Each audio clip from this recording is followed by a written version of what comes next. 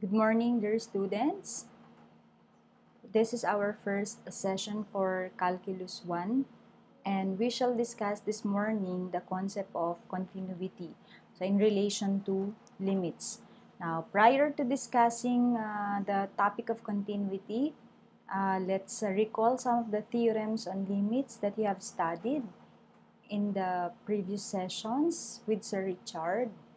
What's the limit of a constant? Limit of a constant? Anyone?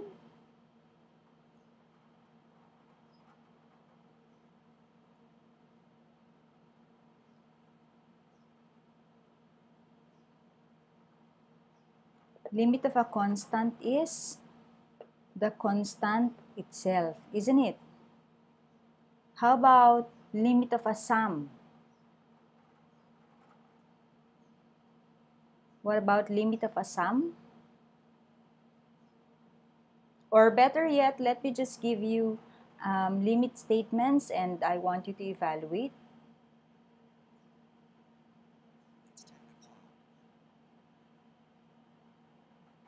Okay, so for instance, I want you to evaluate the following just to recall some of your limit theorems.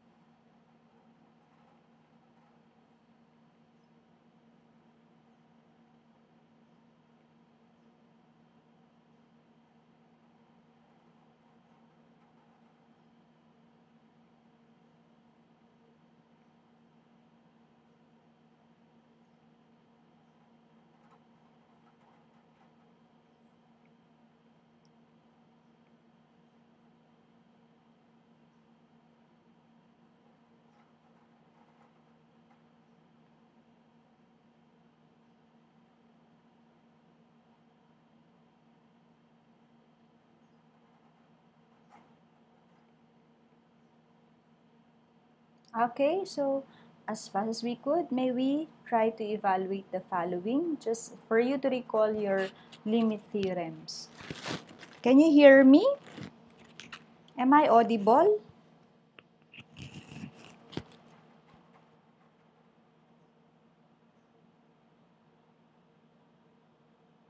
Ah, okay. So number one, evaluate the limit of pi as x approaches 2.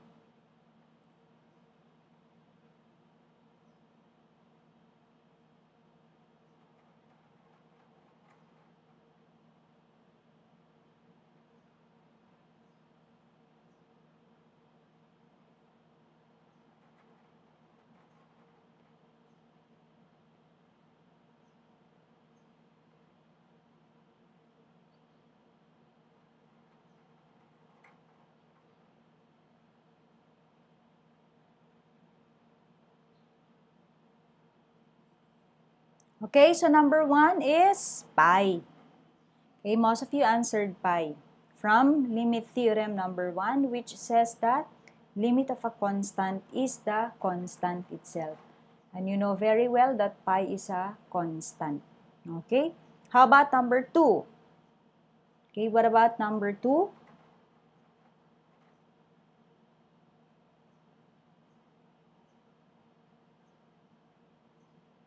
So, number 2 is 1. Okay.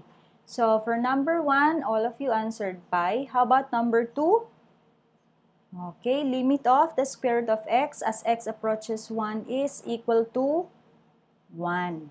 Okay, that's by direct substitution. Okay, 1. How about number 3? Okay, what about number 3? The limit of x squared minus x over x as x approaches 0. Okay, Marnell said negative 1. What about the rest? Let's wait for responses from the others. So for number 3, uh, I can see from my screen Marnell's answer is negative 1. How about the others? Let's wait.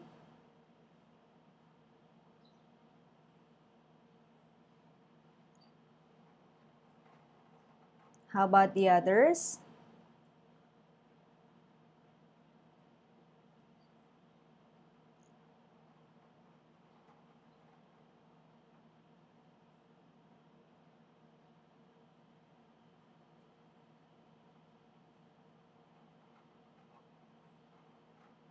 Okay, while waiting, let me add one more uh, for uh, number 5.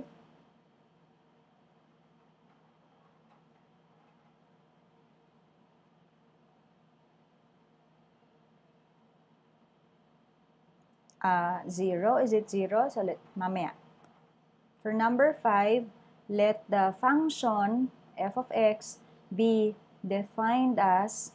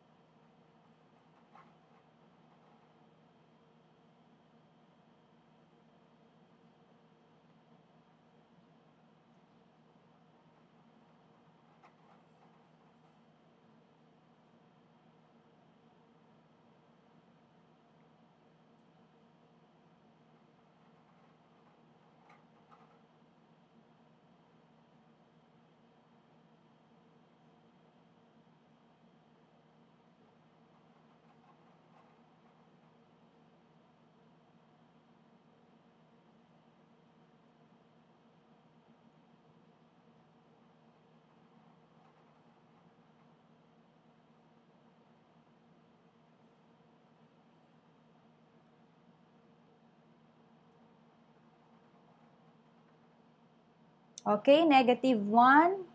Who answered negative 1? Except for uh, 0. Meron ako nakikita kasi 0. So for number 3, the answer is negative 1. Okay? The correct answer is negative 1. How did you get negative 1, by the way? Negative 1. Can we do direct substitution for number 3? Okay, for number 3, limit of x squared minus x all over x as x approaches 0, we cannot do direct substitution because that will give us 0 over 0 or the indeterminate form. Okay? That would result to the, yes, indeterminate form. Okay, indeterminate.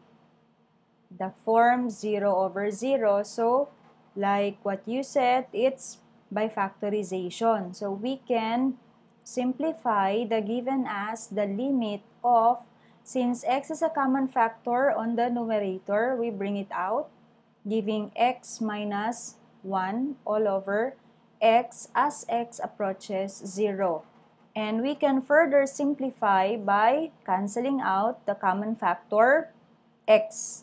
Okay, this will cancel out, leaving okay, limit of the quantity x minus 1 as x approaches 0. And by substitution, this gives negative 1. Okay, I think so most of you got the correct answer. But for number 4, how about number 4? This is limit at infinity as x approaches infinity. Okay, look at this. The limit of 3x squared minus x plus 1 all over 2 minus x plus 2x squared as x approaches infinity. As x approaches infinity. What is this equal to? Anyone? Ay, ay, hindi pa pala na-discuss. Akala ko tapos nyo lahat ng infinite, ng, ng rules on limits. Ah, okay. So, in passing muna, balikan na lang natin later, okay? Kasi I prepared for continuity this morning. Uh, okay. So, for limits at infinity, akala ko na-discuss nyo. Dagdagan ko na lang muna ng sa pang blanco para i-discuss ko sa inyo. Limits, in passing muna. Limits at infinity.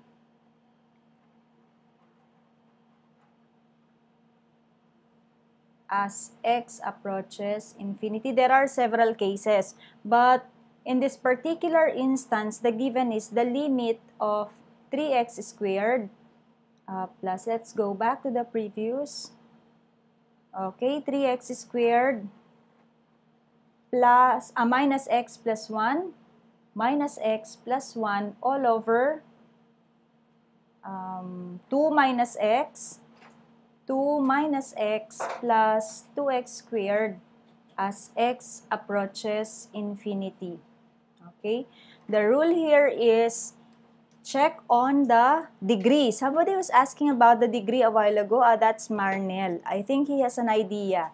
Okay, so, or those of you who came from the STEM uh, strand, for sure you know about this already. Now, for limits at infinity, there are several cases.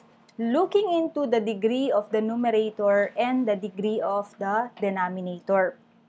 If the degree of the numerator is equal to the degree of the denominator. What do we mean by degree once again? Okay, degree. Okay, from your algebra class, you know for a fact that degree is the highest exponent of the variable x, yes? Okay, highest exponent, that's the degree. What's the degree of the numerator? 2. What's the degree of the denominator? 2. Okay? In this case, since the degree of the numerator equals the degree of the denominator, then the limit is equal to the quotient. Quotient of the leading numeric of the uh, numerical coefficients of the leading terms. Leading terms, yun yung highest, yung may highest power or highest degree. So let me, okay, um,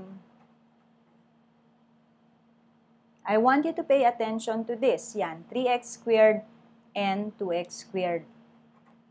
Numerical coefficients are 3 over 2. So, here the limit is 3 over 2. I'll discuss this maybe if I could finish continuity with you today, then I could discuss limits at infinity. Okay? Limits at infinity. How about, sige, in passing na lang, if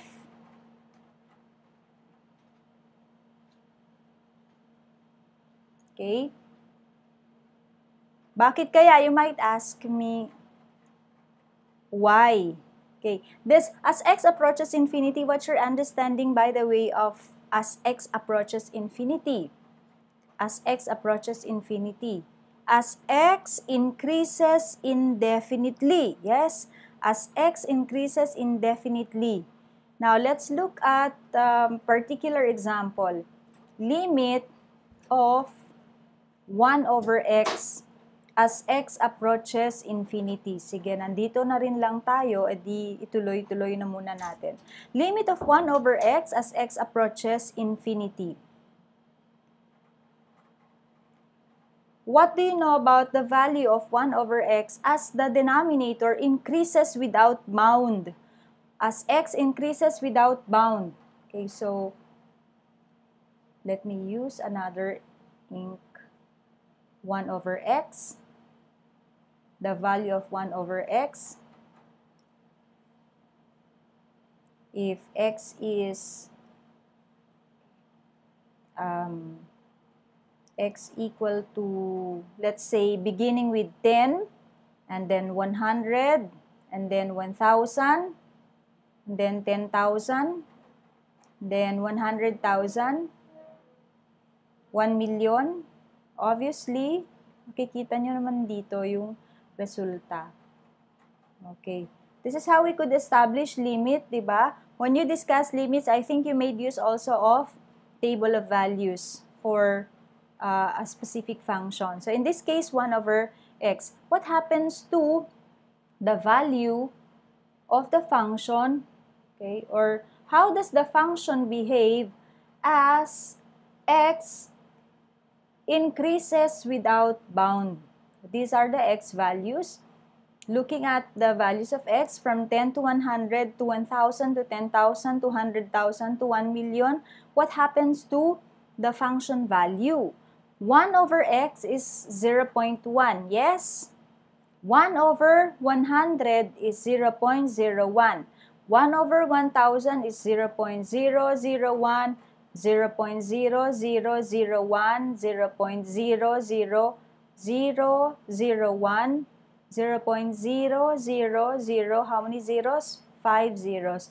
Okay, so obviously, as this, okay, as x approaches infinity, as x, okay, the denominator, as the denominator approaches infinity, what can you say about the function value? It approaches or it gets closer and closer to a specific value also. And what is that value? Okay, take note that 0.000001 is very, very close to what number? 0. It's negligible. It's almost nothing. And so we say limit of 1 over x as x approaches infinity is equal to 0. Okay? As x approaches infinity is equal to 0. Now, if I change the numerator into any constant, any constant like for example, uh, 2, ganun pa rin naman yon. 2 divided by a very, very, very large number will yield a very, very, very small number that that number is so close to 0. Okay? Even when this is negative. Even if this is negative, like for example, if this is negative, when the denominator, numerator rather is negative, then this would be negative 0, 0.0 and that's still very, very, very close to 0. So in general, in general, the limit of c, any constant, over x raised to n, okay, as x approaches infinity is equal to 0. Okay? The limit of c over x raised to n as x approaches infinity is equal to 0. Other questions here? Questions? Next. Baligtarin naman natin ngayon. Paano kapag or so um, uh, before we proceed to the next by the way so if I would ask you now to evaluate the limit of, let this be i na lang. Evaluate the limit of uh, 4 over x to the fifth as x approaches infinity, what will this be? Okay, what will this be? The limit of 4 over x to the fifth as x approaches infinity. Now you might say, what about uh, 0 approaches infinity?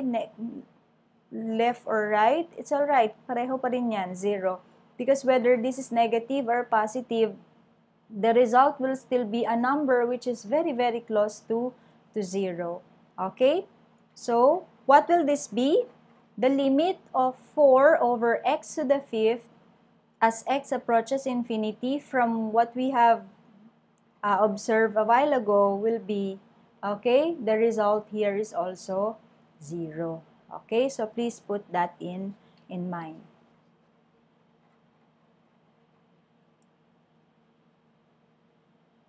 Next, how about, okay, 0. How about limit of x cubed plus x squared plus 1 as x approaches infinity. What do you think will this be? Okay? What will this be kaya? Limit of, okay, so think of it uh, in this manner. X cubed, if I, if x value, if I uh, increase the value of x indefinitely, what would happen to x cubed? What ha would happen to x squared? Okay? add it to a constant 1. The result will still be a very, very large number. Yes, very big number because your x increases without bound. x approaches infinity. So if x is a very large number raised to the third power, definitely that would also be increasing. Then a large number raised to the second power would be a very, very large number also. Large number, large number, add it to 1, which is a constant, then what would the result be? It's also infinity. Okay? So the result here is infinity.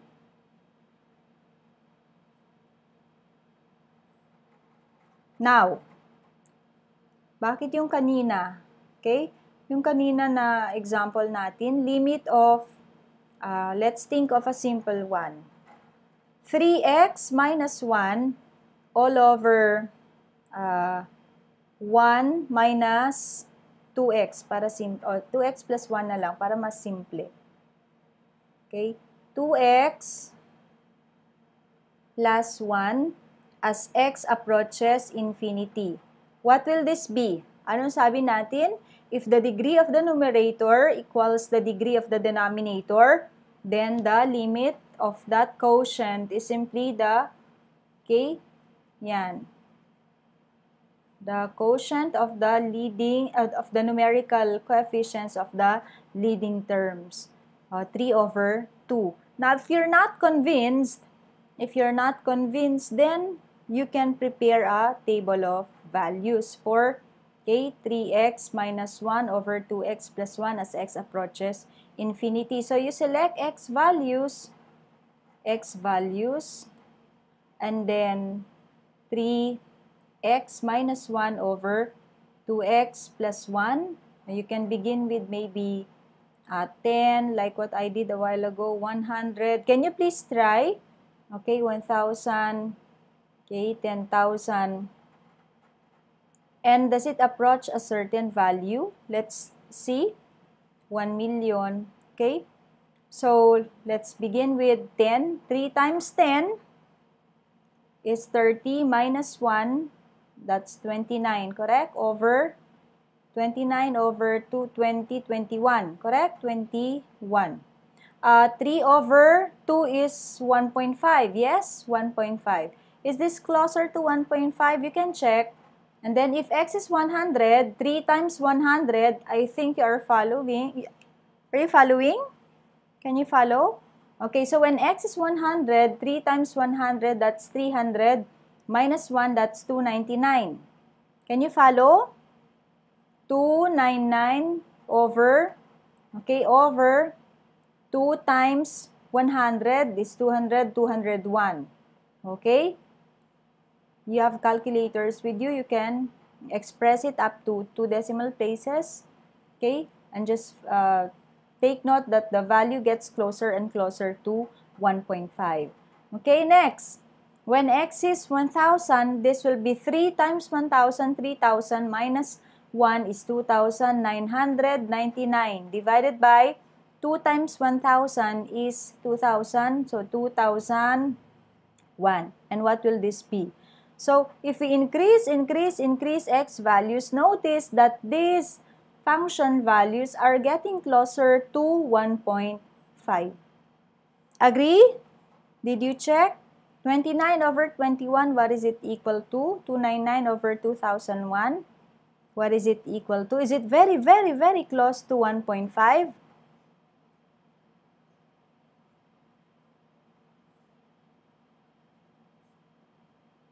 Yes? Okay, it's getting closer to 1.5. So that's it. Okay? So when the degree of the numerator, degree of the numerator equals the degree of the denominator, all we have to look into are the leading coefficients. Look at the leading coefficients. Okay, I think we could uh, proceed to our lesson for this morning. Let's go back to continuity.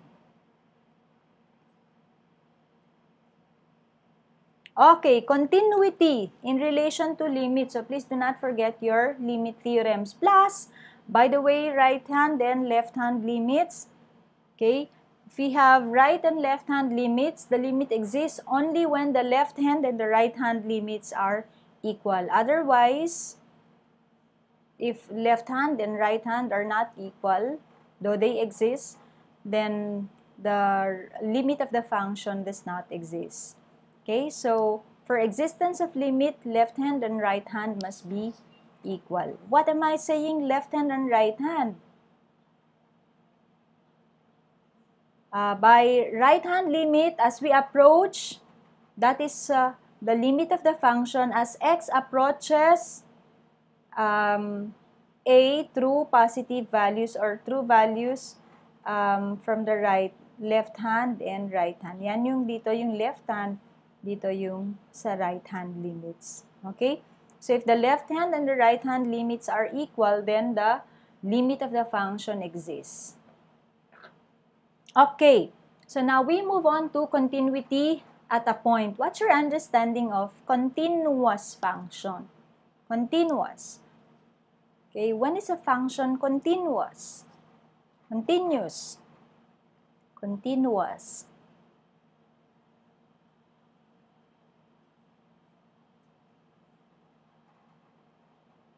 When is it continuous? Anyone? A function is continuous if you probably you might say if there are no breaks, there are no gaps in the graph. You're right. Okay? Kung walang break, kung walang gap. Okay? But what do we really mean by continuity at a point in analytic uh, geometry or in calculus? Now, let's look at uh, a particular example. Continuity at a point. Let's consider a function defined by this equation. Okay? The function defined by the equation f of x is equal to 2x plus 3 times uh, x minus 1 all over x minus 1. Question, is the function continuous at x minus 1? or at x equal to 1 rather, okay, I could write here at x equal to 1 is graphs have uh, the graphs okay okay Norlin said no holes or breaks no gaps okay continuous yun etong function na to is it continuous at a particular point what is that point identified at x equal to 1 at x equal to 1. Where is x equal to 1? Ito. Ito yun. x equal to 1. So, let's label. Kasi hindi siya naka-label. So, 1 ito, 2, negative 1, negative 2. 1, 2, 3, 4, and uh, 5. Okay? So, is this function continuous at x equal to 1? Obviously, there is a hole. Okay, can you see this? It's a hollow, a hollow circle. There's a hole along this point, which means this function is not continuous at x equal to 1, at x equal to 1. Bakit kaya? Look at the function given. Okay, look at the function given. I want you to pay attention to the given function. Okay, look at the function. Anything you'd like to say about the function given? Yan. Ganito yung function natin. It's a rational function, isn't it? It's a rational function. Is this function defined at x equal to 1? Let me write that question. Is the function defined at x equal to 1. What do we mean by that? Is there a function value at x equal to 1 looking at the function given? This is our function. f of x is equal to 2x plus 3 times x minus 1 all over x minus 1. Okay, obviously, the function has no value at x is equal to 1. Because if x is 1, that would make our denominator 0. And even the numerator, so you'll end up with 0 over 0. That's the indeterminate form. So, walang value yung function at x equal to, to 1. It's discontinuous at x equal to 1. Okay? Now, how does the graph look like? Paano kaya nangyaring ganyan ang graph? You can prepare a table of values for, okay, for the particular function or if you have graphing softwares, like uh, how many of you have GeoGebra? And how many of you have used GeoGebra in the past? Or Autograph? Are you familiar with these uh, software apps? Tingnan natin kung meron akong GeoGebra para maipakita ko sa inyo. GeoGebra. There. Okay, the function is y equals, can you remember the function given? 2x, is it 2x plus 3? Times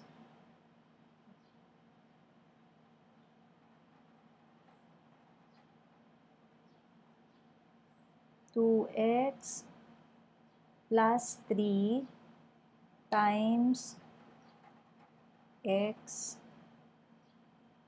minus 1 all over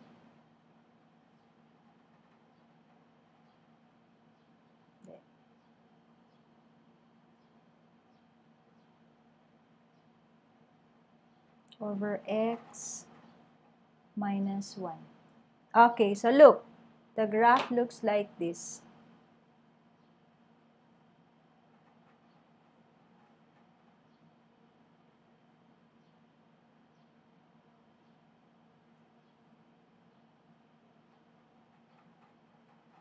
And there should be a hole here. Merong hole dito dapat. Bakit hindi nakita yung in-input ko? Ayun, yun. So, let's go back to our... Ayan, okay. So, the graph looks like this na. So, you can generate the graph using your uh, software app, graphing software like GeoGebra and Autograph. So, there is a hole at x equal to 1. At x is equal to 1. So, we say the function is not continuous at x is equal to 1. Bakit? What are the conditions that, that must be satisfied in order for a function to be considered continuous at a specific number a? So, by definition, the function f is continuous at a number a if and only if these conditions are met or are satisfied. Number one, f of a exists. So going back, may function value ba at x equal to 1? At x equal to 1? Wala. Undefined nga, sabi nyo. Okay, yung denominator po kasi ay magiging 0. So, right away, we can say this function is not continuous at x equal to 1. Okay? At x equal to 1. Let's go back to the next, or um, move forward, uh, I should say. How about the second condition? Condition number 2 says, the limit of the function as x approaches a exists. Okay? So number 1, the function value exists at a Number two, the limit of the function exists at a. And the third condition is that the limit and the function value must be equal.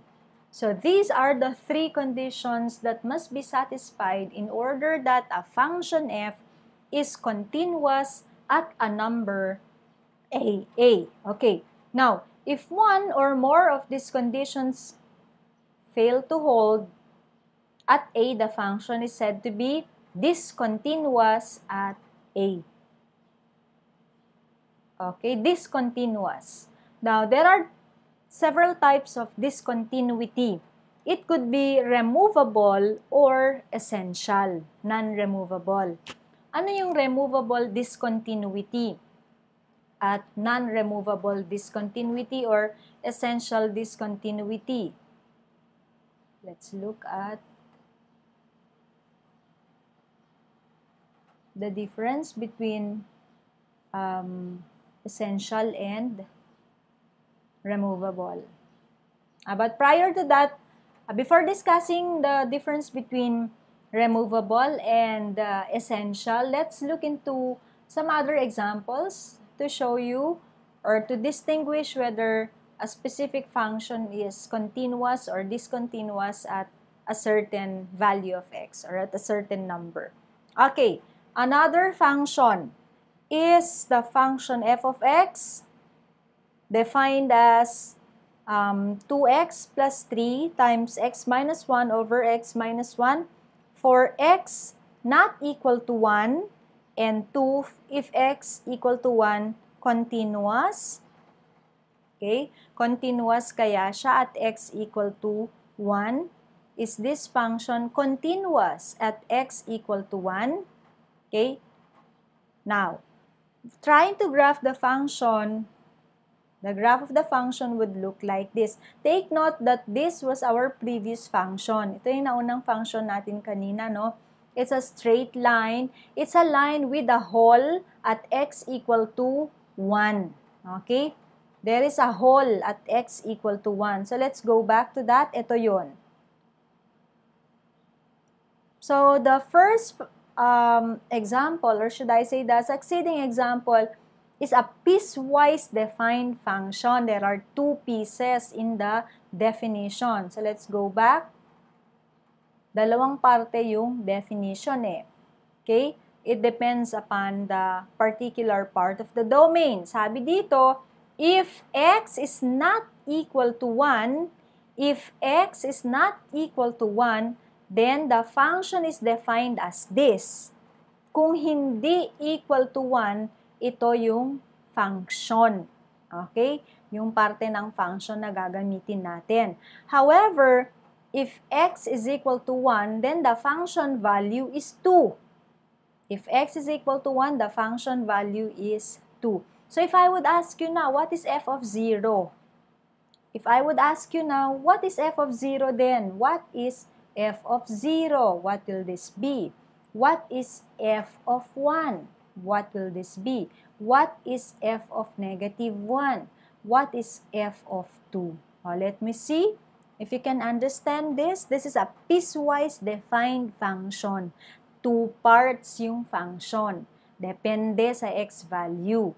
If x is not equal to 1, use this part of the definition.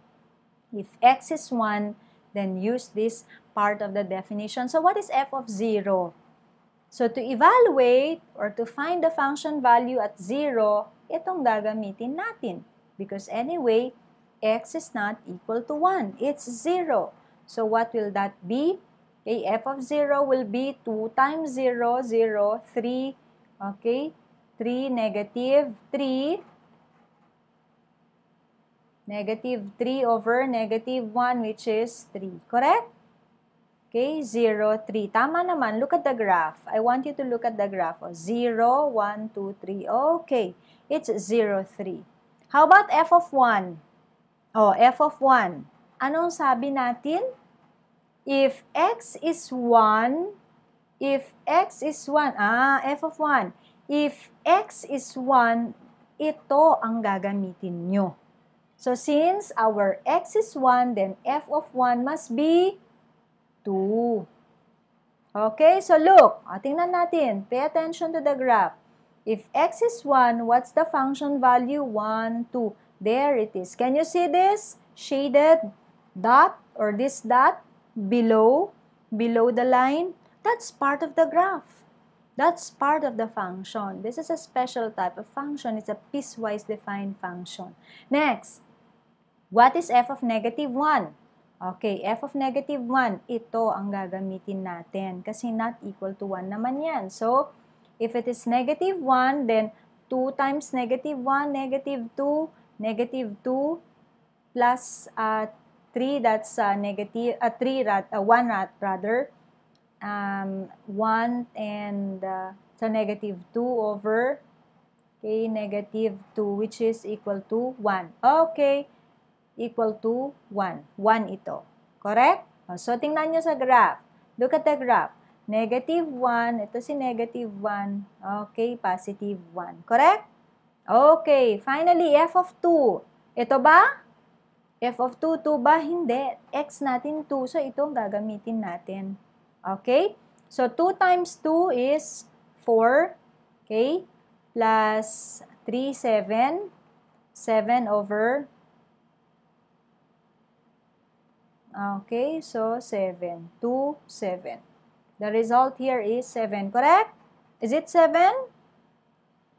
Correct? So 2 times 2, here you have 2 times 2, 4, plus 3, 7. 7 times 1 over, okay, so 7. So the graph looks like this. Now, let's analyze. Okay, let's analyze. Although may result na kasi siya dyan, dapat hindi ko muna nilagay. So, let's investigate the three conditions. So, let's go over. Okay? Let's go over. What did we say? For a function to be continuous at A, three conditions must be satisfied. f of A exists, limit exists, and f of A and the limits must be equal. Okay? So let's see. Going back to example number 1. Okay, what is f of 1? The question is, is f of x continuous at x equal to 1? Yan yung question natin. Dapat may f of 1. Meron ba?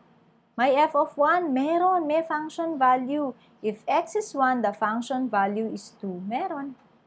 Okay, ayan. No? f of 1, sabi natin f of 1 is equal to 2. So, condition number 1, satisfied. Let's put a check mark on that. Satisfied. Next, may limit ba? So, this is condition number 1. Condition number 2, what did we say? Dapat may limit. Limit of f of x as x approaches 1. Meron ba? Okay, may limit ba? Okay, limit of the function as x approaches 1. Uh, so, let, look at the, the graph. Look, if I approach, ito, this is 1, ha? If I approach 1 from the left side, ito, approaching 1 from the right side, and approach one from the left side, are we getting closer and closer to a specific value?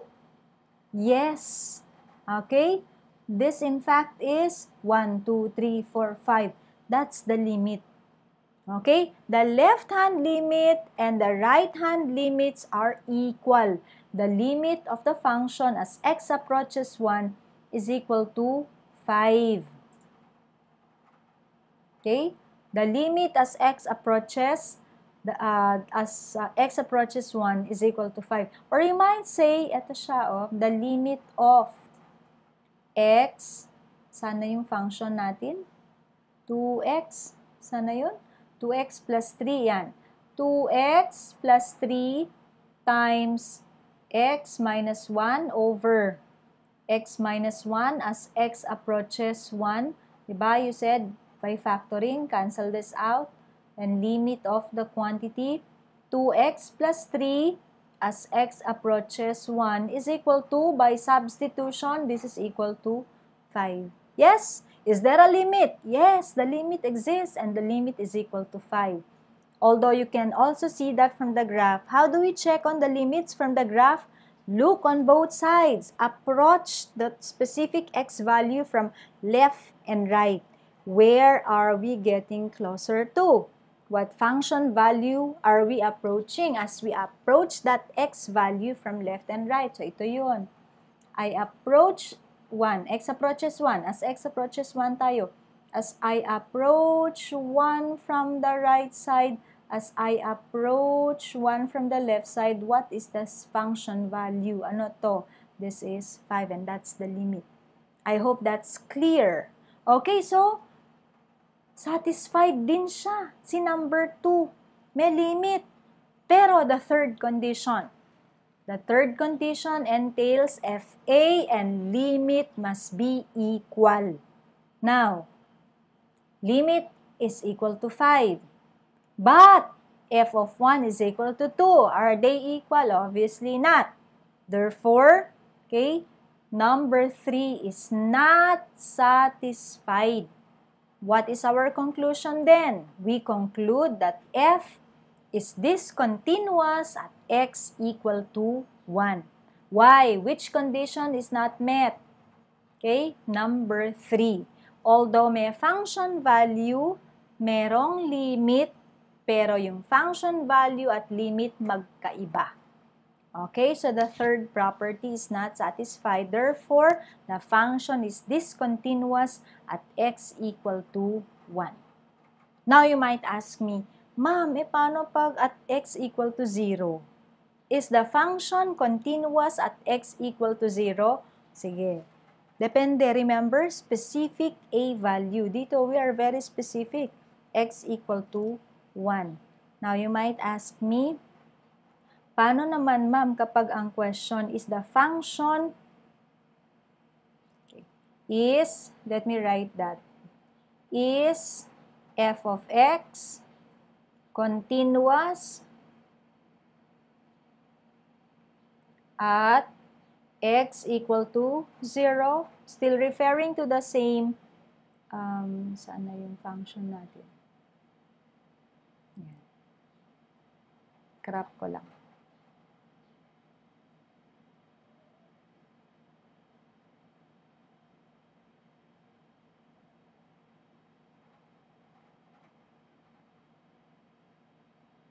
At x equal to 0, what's the function here? By the way, our function is, let's go back once again. The function given is, to, wait, I'll take a picture.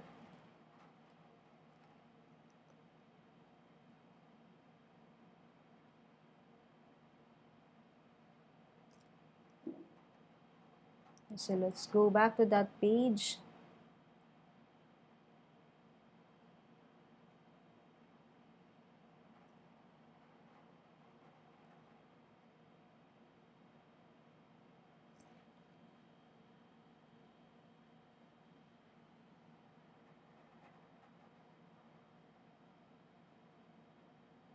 Okay, same function. Ito pa rin yung function natin.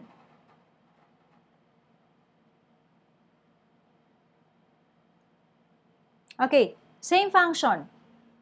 Is f continuous at x equal to 0? Remember the three conditions. The first condition is, okay, condition number 1, there is f of a. Merong f of a. Number 2, limit of f of x as x approaches a exists. Ma meron dapat yan. And third condition, the third condition, f of a should be equal to the limit of f of x as x approaches a. Okay, so let's check on the three conditions. Remember, hindi na tayo 1 na, 0 tayo. So, I. Okay, for I, What is f of 0? What is it equal to? f of 0, x is not equal to 0, so gamitin natin to. If x is 0, then 3, negative 1, negative, negative 3 over negative 1, it's 3. Correct? 3. So the answer here is 3. Okay? Next, what is the limit of f of x as x approaches 0. Okay? As x approaches 0. Saan sa graph? Look at your graph na lang. Ito na lang, yung, sa graph na lang tayo. Okay, let me label this once again as 1, 2, 3. Okay? As x approaches 0, nasan ba si 0? Ito ha? Ito si 0 natin. Oh. Okay, so we approach 0 from both left and right. Okay, as we approach 0 from left and right, we are approaching a specific function value and that is 3. Okay, so the limit of the function as x approaches 0 is equal to 3. Uh, so, number 3. Okay, f of 3 or f of 0 is equal to 3 and the limit is equal to, to 3 Are they equal? Yes, f of 0 is equal to the limit of f of x as x approaches 0. Therefore, therefore, f is continuous at x equal to 0. Okay? At x equal to 0. At x equal to 0, the function is continuous. Other questions here? Other questions? None. We move on to example number 2. Okay, next. Example number 2. This time is a function defined by the equation 1 over x minus 2. 1 over x minus 2. Any comment on the given function? F of x is equal to 1 over 1 over x minus 2. 1 over x minus 2. Okay, look at looking at the denominator. Okay? Is this function is this function continuous at x equal to 2? Is this function continuous at x is equal to 2? First condition, may function value ba at x equal to 2? Meron bang f of 2? Meron ba to? Meron ba? May f of 2 ba? Wala. Okay, f of 2 does not exist. F of 2, d and e. Okay, you know what d and e is. Does not exist. Wala. Kasi nga, 2 minus 2, that will be 1 over 0, undefined. So, right away, hindi na tayo mag-proceed to check on number 2 and number 3. Kasi yung first condition pa lang, eh, hindi na na-satisfy. Okay? The first condition is not satisfied. Okay? And one thing more, even if we continue, if I would ask you what's the limit? Sige nga, can you tell me the limit of the function f of x as x approaches to? Uh, looking at the graph. Uh, sige nga. What is the limit of the function as x approaches to? Looking at the graph, remember when you check on limit, you check both left and right side. Look, if we approach 2 from the right, get closer and closer and closer and closer to 2 from the right side. Okay? Are we approaching a specific y value? Ito, pataas ito without bound eh. This line means it's uh, indefinitely, this could be extended infinitely up. Ito, This could be extended infinitely up. Remember the concept of asymptotic? Is it equal to 1? Wala. Infinity eh. Kasi, ayan o, as we get closer and closer to 2 from the right, what is the function? How does the function behave? The function increases infinitely without bound, which means that the limit of the function as x approaches to from the right is positive infinity. You understand that? And the limit of the function as x approaches to from the left, from the left, bakit may negative ako? Sorry, from the left. Positive, negative, meaning the direction lang yan. Ah, direction, do not be confused. 2 from the right side, ito yun. This is what I mean by that. As x as x approaches 2, ha? As x approaches 2 from the right side, the function increases without bound. It increases without bound, which means that its limit is positive infinity. Whereas, if we approach 2 from the left side, what happens? So look at this if we approach 2 from the left side, pababa ng pababa ng pababa, it decreases indefinitely. Okay? Decreasing siya.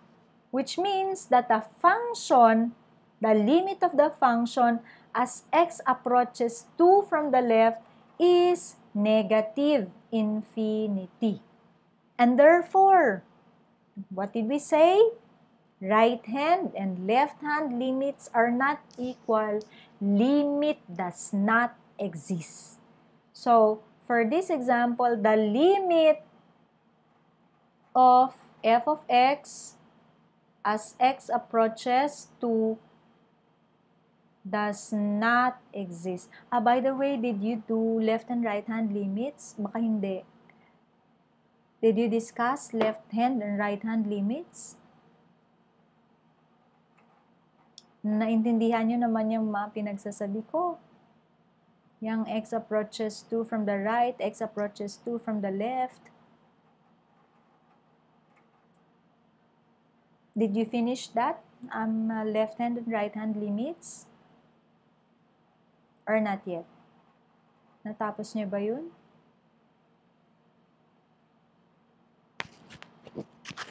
Are you still there? Ay, not yet. Na-discuss, ma'am. Ay, ay, di na-discuss. Ay, alas. Hindi po. Ah.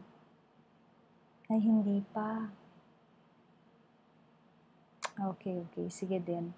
O, sige din. Um, paano kaya yan?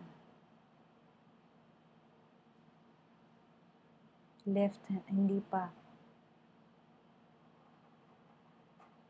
Ah, sige na. Um, sige, sige. Nandito na rin lang tayo. Di singit ko na lang din ulit. Left and right hand limits.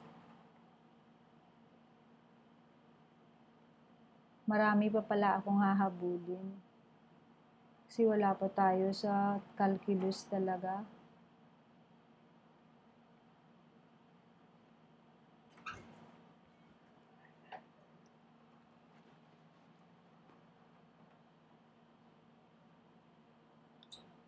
Okay, so that you can better understand the concept of a right and a uh, left hand limit, um, consider this to be the graph of a certain function.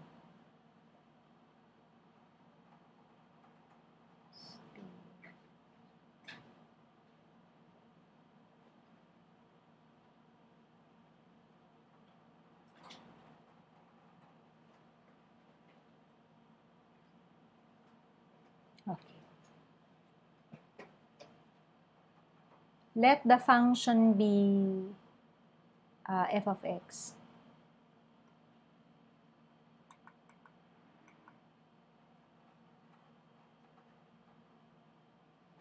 Find the limit of f of x as x approaches 1 from the right and find the limit of f of x as x approaches 1 from the left.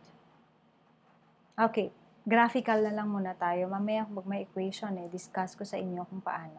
Okay, so let's uh, distinguish between left hand and right hand limits and when does the limit exist. Okay, left hand limit as we approach that specific x value through values less than, okay, here 1. This is what we want to establish or this is what we want to find out. What is the limit of this function as x approaches 1. Okay? But take note that this function has two parts. ba diba? May two parts siya. Ito oh. If x is equal to 1 or greater than 1, greater than or equal to 1, ito yon. For x greater than or equal to 1, ito 1, x, x. For x greater than, greater kasi to the right, x greater than or equal to 1, the function has, okay, this graph. But for x less than 1, meaning 1 to the negatives, exclusive of 1 of course. So maybe 0.999999, very close to 1, and to 0, and to the negatives. This is that part of the graph. Okay, so the domain is divided into two parts. The first part is when x is greater than or equal to 1. Ito yon. x is greater than or equal to 1, ito. And when x is less than, less than 1, itong part. You understand that? Now, ano yung limit ng function as x approaches 1? Eh, dalawa yung parte ng function. So we have to look into the left-hand limit and the right-hand limit. This is the right-hand limit. Right hand.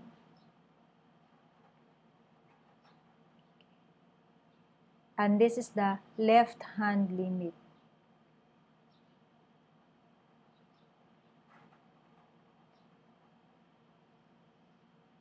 Okay, the right-hand limit. Now let's evaluate the right-hand limit. What okay, to what value of the function or of y okay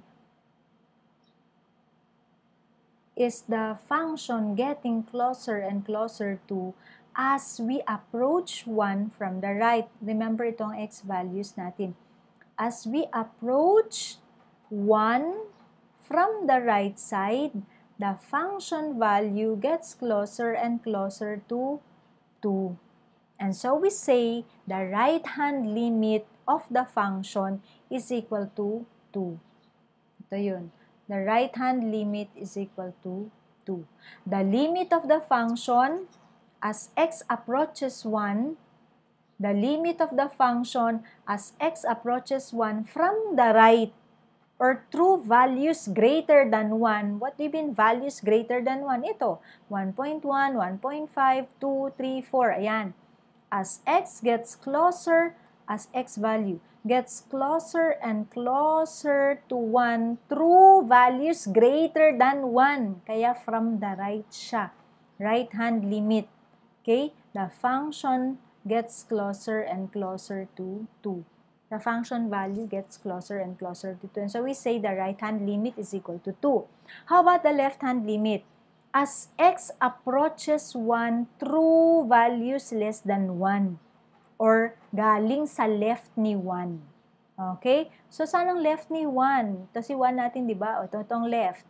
So, palapit tayo ng palapit kay 1.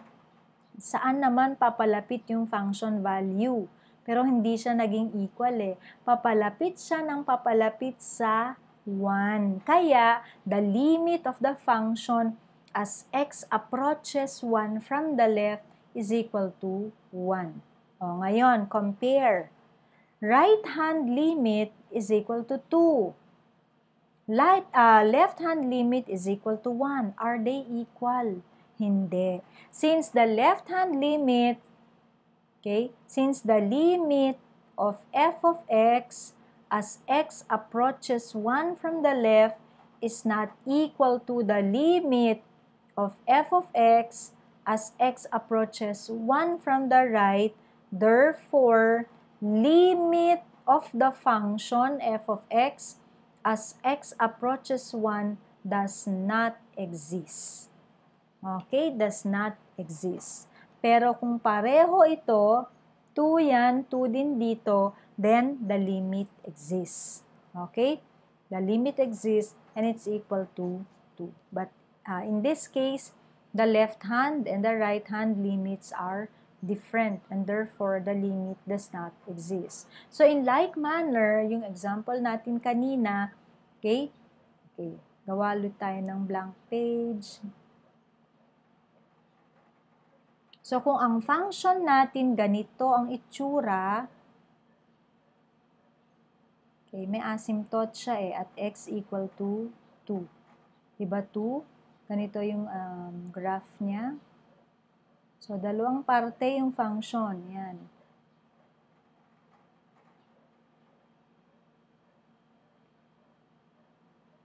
Okay, so this is the graph of the function. The function in the second example. This is x equal to 2.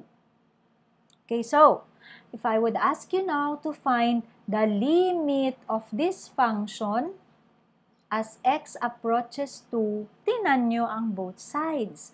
What is the limit of the function as x approaches to from the right and the limit of the function as x approaches 2 from the left. What is this equal to? So, tingnan natin sa graph. Okay. So, ito, nahin natin. 2 from the right. Saan ba si 2? Ito si 2. x approaches 2 eh. As x approaches 2 from the right, anong mangyayari? Pataas ang pataas ang pataas ang pataas. May specific value ba? Wala, kasi pataas siya ng pataas. It increases without bound. In fact, up to infinity. Therefore, the limit of f of x as x approaches 2 from the right is positive infinity. I hope you understood that. Next, eh yung galing naman sa left. Pagkagaling sa left, ito yon As x approaches, uh, bakit may negative 1 na naman ako? As x approaches 2 from the left. So, look at the graph. As we approach 2 from the left side, what happens to the function? The function decreases without bound. The function decreases pababa without bound. And therefore, the limit of the function as x approaches 2 from the left is negative infinity. Now, compare. Limit of the function as x approaches uh, 2 from the right is not equal to the limit of the function as x approaches 2 from the left side.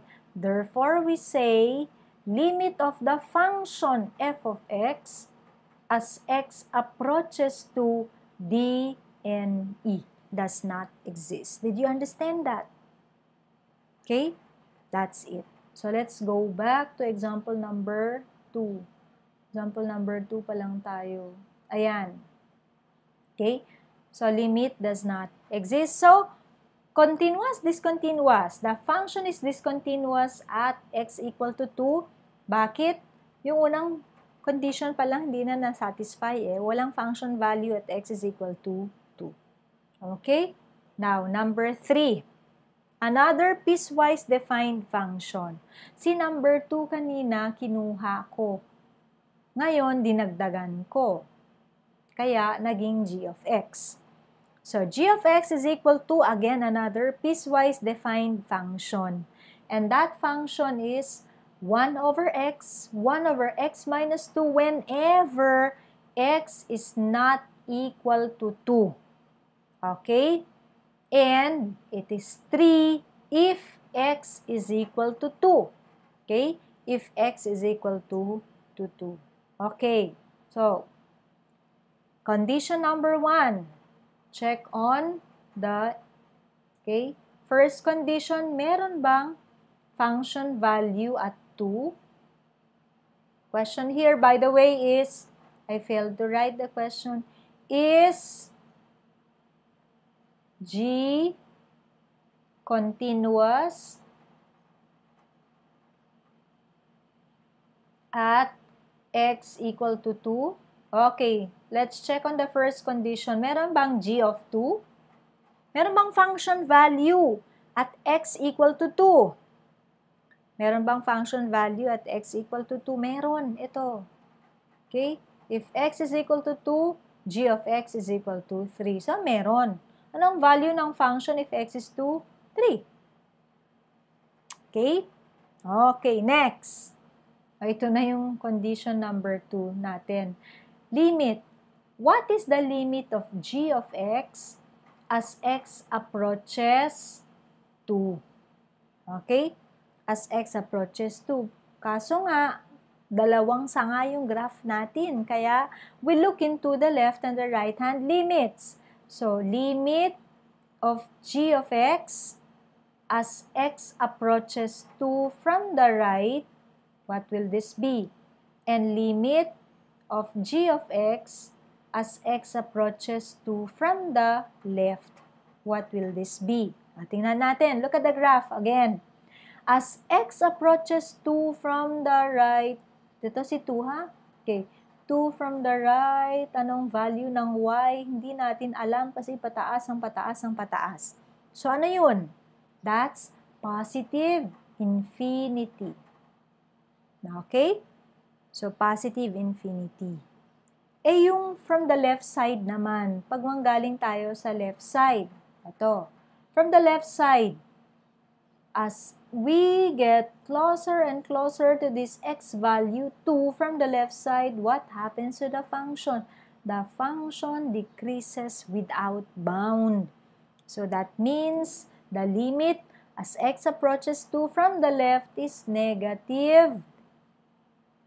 Okay, negative infinity. And therefore, magkaiba yung right hand and left hand, which means that ito does not exist. Okay? So, condition number two is not satisfied. Okay? Walang limit. Okay? The limit does not exist kasi magkaiba yung right hand at left hand limits nila. Although may function value, meron.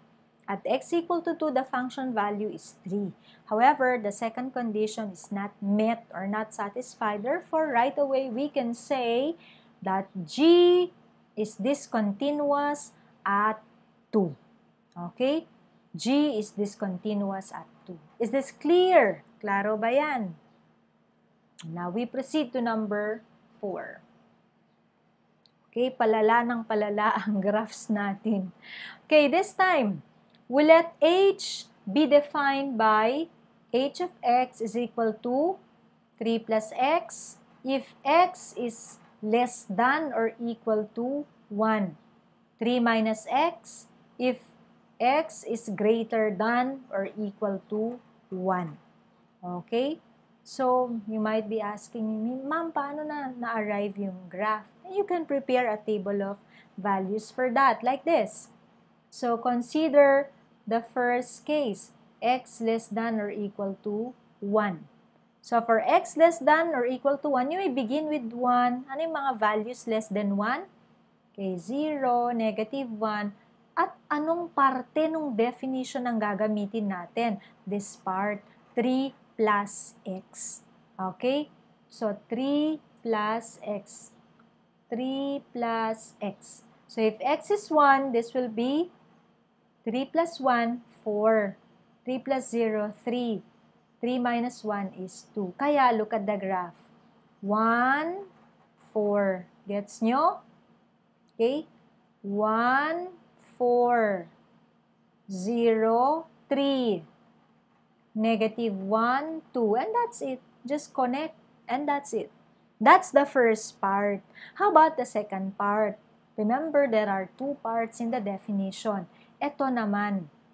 Okay? So, if x is greater than 1. Okay?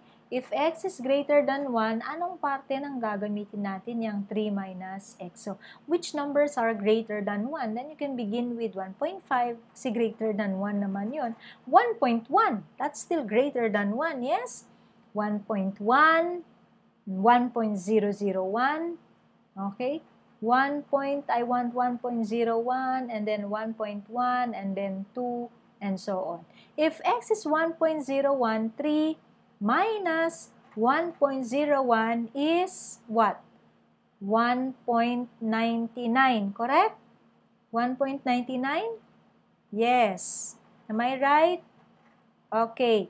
If it is 1.1, 3 minus 1.1 is 1.9. If x is 2, okay, 1. So, how would the graph look like?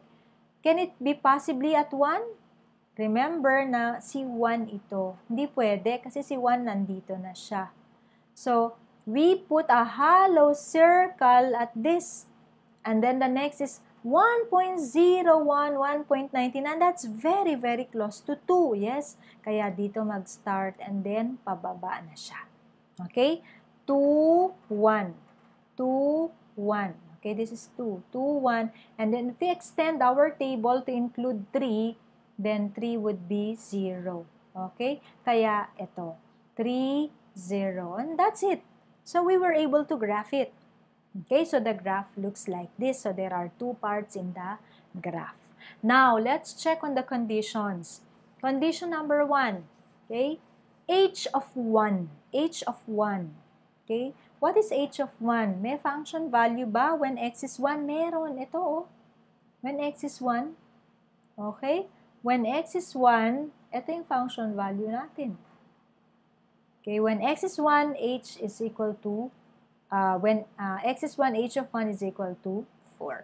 Okay, may function value. Satisfied yung first condition. Second condition, eh yung limits kaya. Oh, what did I say? Dalawang parte yung graph. Check on the left hand and the right hand limits. Okay, so we begin by looking at the limit of the function as x approaches 1 from the left. 1 from the left, ito. Okay? As x approaches, ditong x natin ha, anong titingnan natin na value 1?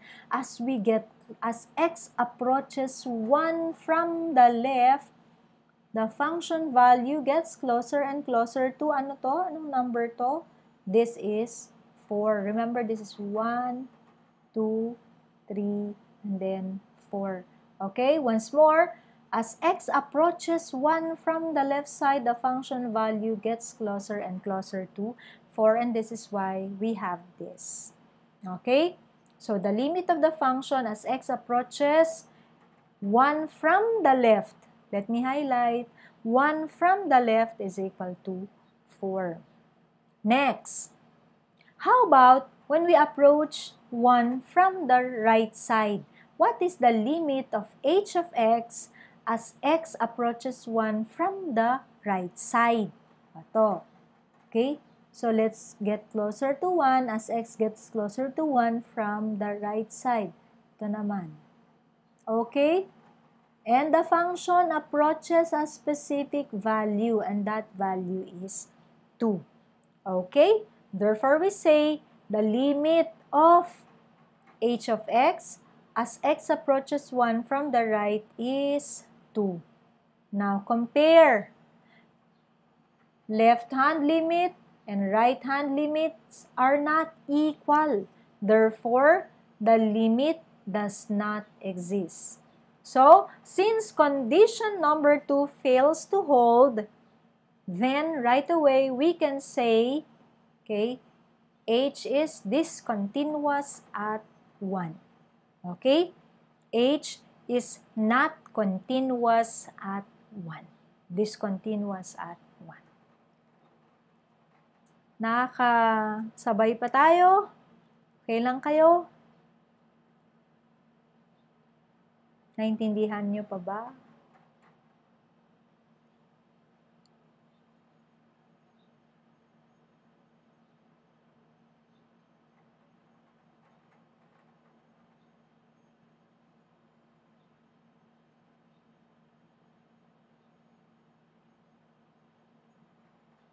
Okay. Sige, pang last na. Last. Last for this morning. Let the function be f of x is equal to, again, a piecewise defined function. Absolute value of x minus 3 if x is equal to 3, not equal to 3 rather, and 2 if x is equal to 3. Okay, again, you might be asking me once again, how shall I graph? Then prepare a table of values. Kung hindi equal to 3, edi 2, okay, So for x not equal to 3, uh, x not equal to 3, then you'll have, uh, you can have 2, 1, 0, 1, negative 1, okay, and so on. Then use the absolute value of x minus 3. Okay, so if x is 2, 2 minus 3 uh, is 1 absolute value of 1, 1, 1, 2, and then 3, and then 2, and, eh bakit? 2, okay. Ay, sorry, sorry, wrong, wrong. Yan, 2, 1, 1 minus 3, 2, 0 minus, okay. Okay, 2, tama, tama. 2 and 4. Okay, so this part would be, yan, 2 2 2 1 tama 2 1 rather 2 1 ito 2 1 0, 3, tama. Okay, 1, 1, 2, tama. And then negative 1, 4. Then you can even have 4 also. Wala tayong nilagay pala na 4. Okay, we can include here, in fact, uh, numbers very close to 3 like um, 2.99 and then 3.01, 3.01. Take note that the results will be very, very close to 0. This will be 0.01.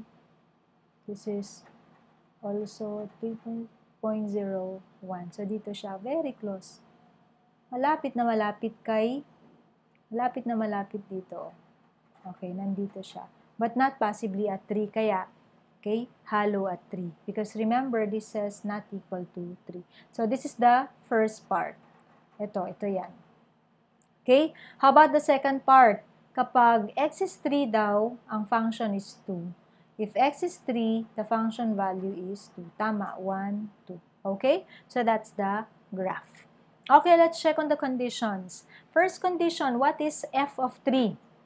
f of 3, f of 3, yan, and x is 3, the function value is 2. So, we have condition number 1 met, satisfied. Okay? f of 3 is equal to 2. How about limits? Okay? Limit from the left and limit from the right. Limit from the right and limit from the left pareho lang. And that is 0. Okay? So, limit as x approaches 3 from the left is 0. Limit as x approaches 3 from the right is 0. Therefore, the limit exists and it's equal to 0. So, condition number 1 satisfied, condition number 2 satisfied. However, condition number 3, okay, is not satisfied. Why? Because the limit is 0 and the function value is 2. Ito, their limit, the limit of the function is 0, but f of 3 is equal to 2 magkaiba. Therefore, number 3 is not satisfied. And so we say f is discontinuous at 3. Okay? discontinuous at 3. So I hope that one is clear. Now, the types of discontinuity. So from here, we can now distinguish which among the five uh, show removable discontinuity and uh, essential discontinuity. What's the difference between the two? When is it removable? Removable discontinuity if, okay, the function is discontinuous at A, but for which the limit exists. Okay? May limit.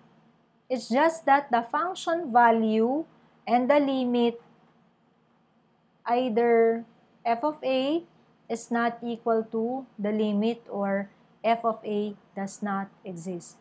But here, f of the, the limit should exist. Okay? The limit should exist for for um, the discontinuity to be removable, limit exists. Pwedeng f of a does not exist but the limit exists. Or it's just that f of a is not equal to the limit. Okay? But one thing for sure, the limit exists for removable discontinuity. And essential discontinuity The discontinuity is not removable or essential if, yan, case number one. Okay? If the limit does not exist. If limit does not exist, because the left and the right hand limits are not equal, then this is jump essential discontinuity. The other case, if the function, okay, is such that limit does not exist because either limit of the function as x approaches c from the left is positive infinity or limit of f of x as x approaches c from the left is negative infinity. Yan, yan. Infinite. Infinite discontinuity at x is equal to c. So let's go back to our examples and tell me which ones are removable, not removable ay nandyan na kasi yung answer. Ito na lang. So, when is it removable? Ito, removable to. Kasi the limit exists. Removable yan kasi limit of the function as x approaches a exists. Okay? It exists. Ang problema lang, yung f of a is not equal to the limit. Okay? Of f of x as x approaches a. Removable pa rin yan. Now, jump discontinuity. Jump. Ito, okay, f of a exists. Meron, may f of a. Ito, oh, yung darkened circle dyan. But, limit of f of x as x approaches a does not exist. Bakit? Magkaiba yung right hand at left hand limits. Okay? Kaya ito, jump discontinuity. Okay? Next, infinite kapag yan, the left hand discontinuity is positive infinity, the right hand discontinuity is negative infinity, infinite discontinuity. Now, lastly, so which one among the five functions are uh, exhibiting removable discontinuity uh, and essential discontinuity? Number one, okay, number one is removable. But uh, we can redefine f of 1 to be equal to 5. Okay, so let's go back to number 1. Okay, so for number 1, the discontinuity is removable because anyway, the limit exists. Meron tayong limit dito. The limit exists and the limit is equal to 5. Okay, only that the function value is different. Okay? So, how shall we redefine? How can we remove the discontinuity? Change this. Instead of f of 1 equal to 2, let's say, let, okay, redefine the function this way. We redefine it as let f of 1 be equal to 5. So, in that manner, f of 1 at saka si limit magiging equal condition number 3 will be satisfied. Okay? Condition number, this is what we call redefinition. Redefining. Redefinition. If it is removable, we can always redefine. Next, example number 2, removable or non-removable. Okay? Limit does not exist dito. Limit does not exist. This is infinite, okay, discontinuity, okay, non-removable. Number three, just the same, limit does not exist, it's non-removable. Okay, next, number four, okay, limit does not exist also. Yan, magkaiba yung left and right hand. It's a jump discontinuity, non-removable. Number five, ah, ito removable. Okay? So, for number 5, limit exists. Yan, limit exists. So, we can redefine redefine our f of f of redefine f of 3. Okay, and f of 3 be equal to the limit which is 0. So that f of 3 now and the limit will be equal, hence satisfying um, property or should I say condition number 3 making the function continuous. And that's it. Okay. So let's see if our answers are correct. Ayan. Oh. Removable, non-removable, non-removable, non-removable, removable. Si number 1 at saka si number 5 lang ang removable. So that means we can redefine our f of a to be equal to the limits so that the third condition will be satisfied. Okay, so that's it for this morning. And for your assignment, ah, ito ang gagawin niyo naman. Please take note of your assignment. Prove that the function is discontinuous at the number A. Then determine if the discontinuity is removable or essential. If the discontinuity is removable, define, redefine f of a so that the discontinuity is removed. Okay? So are there questions at this point? Before we end the session, please raise your questions before we end the session.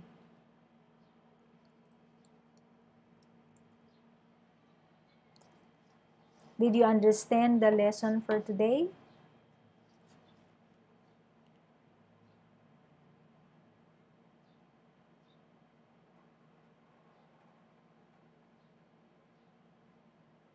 Are you still with me? Or nagutom na kayo? It's 11.30. My, um, my time with you is from 8 to 12, yes? 8 to 12 kasi this is for units kasi siya. Pero masyadong taxing on your part also if I extend the time or if I consume the whole 4 hours for lecture. I think this is enough. And it's too much already kasi grabe na ang kain sa data niya. Okay, so if there are no questions, then we could end up the session now and then you can start working on your assignment. If there are questions, please feel free to message me. Okay? So just like what uh, I said in your abstract algebra class, you may send your answers via FB Messenger. Kasi I spoke to Ma'am Cynthia yesterday and uh, she requested for an extension. Next week na lang daw i-enroll yung alin sa akin kasi your Sir Richard still um, collecting or extracting some files from Lens. Okay? So thank you once again for joining me this morning. I hope you learned something today. For next meeting, we shall try to start with derivatives na kasi we still have a lot of things to discuss with derivatives and then applications of Calculus 1 para hindi naman tayo laging behind. Okay? Para hindi ako maghahabol kung ako ang magiging Calculus 2 teacher niyo ulit. Integral Calculus. Kasi last time naghabol kami, mahirap masyado. Okay, thank you so much. You may have your lunch na, early lunch. Okay, thank you. Bye everyone.